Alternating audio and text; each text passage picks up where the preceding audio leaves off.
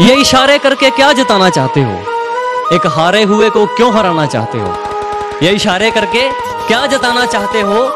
एक हारे हुए को क्यों हराना चाहते हो? और खुदा के दरबार में आकर झूठ नहीं बोला करते? तुम्हारी आँखें बता रही हैं, तुम आँख लड़ाना चाहते हो।